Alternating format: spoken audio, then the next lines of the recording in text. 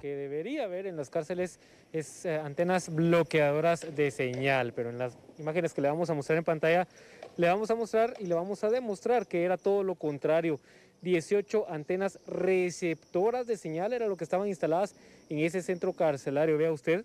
se trata de señales que eh, recibían todo tipo de señal de internet y de señal telefónica. Eso fue lo que reportó esta tarde la Policía Nacional Civil al finalizar un operativo las fuerzas de seguridad en el Parque Central en el cual pues eh, expulsaron a ciertas personas que estaban de manera ilegal en el país. Se dirigieron a destacarse eh, la granja penal Canadá en Escuintla para dar inicio con este operativo. En total se contabilizaron 18 antenas receptoras de señal de teléfono y de internet los eh, agentes de la Policía Nacional Civil que participaron en esta requisa pues han destruido, según la información que tenemos a esta hora de la noche, estos aparatos que permitían que los eh, celulares y los receptores de internet, porque hasta dispositivos electrónicos habían en ese lugar, pues quedaran completamente ya sin la señal. También se ha eh, tenido un reporte que se continuó con la requisa y no solo se encontraron los receptores de señal, sino también se decomisaron